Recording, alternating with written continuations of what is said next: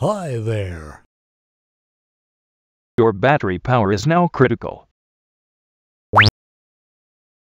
Oh my gosh!